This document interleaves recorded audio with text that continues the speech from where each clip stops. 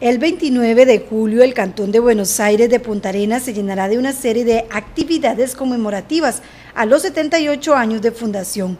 El vicealcalde Daniel Gamboa indicó que están trabajando de lleno para que la población disfrute ese día. Pues en realidad este, una fecha como esta no puede pasar desapercibida y, y aunque eh, con poco tiempo para este, preparar este, lo que es la actividad, pero sí se está haciendo con mucho con mucho esfuerzo, con mucha dedicación, con mucho amor, para que todos los bonaerenses lo disfruten.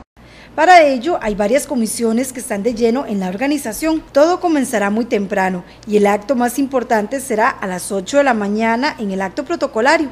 Acá este, nosotros este, nos hemos armado de varias este, comisiones de trabajo que, que cada una tiene su responsabilidad y esperamos pues este 29 de julio este, tener este, una actividad familiar, una actividad donde pueda compartir este, los bonaerenses y este, pasar un día diferente. Sí. Bueno, este, acá al inicio, desde la mañana, este, hay un, un acto protocolario, una, una sesión este, donde van a participar todo lo que son representantes de, de la municipalidad. Eh, eh, invitados especiales, este, diputados de la zona y hasta algunos representantes de gobierno. También habrá deporte. Luego este, viene lo que es este, ya los eventos, eh, una, una, recreativa, lo que es este, eh, en, en, lo que es ciclismo. Tenemos también que inicia lo que es un campeonato de fútbol, acá, fútbol sala. Eh, tenemos también este, diversión para lo que es este, los niños con inflables y demás.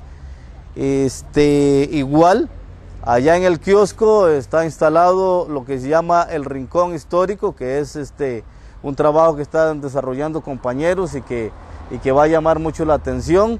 Y hasta un concierto. En Tarima vamos a tener todo lo que es la participación con premiación y demás de lo que son eventos culturales y terminando haciendo el cierre con a partir de las 12 mediodía con lo que es este un concierto concierto al aire libre acá frente a la municipalidad con el grupo Pimienta Negra esa es en sí la, la actividad que, que, se tiene programado para ese día y que esperamos pues eh, eh, que participen todos los bonaerenses. Los organizadores esperan que todas las familias bonaerenses se sumen al festejo.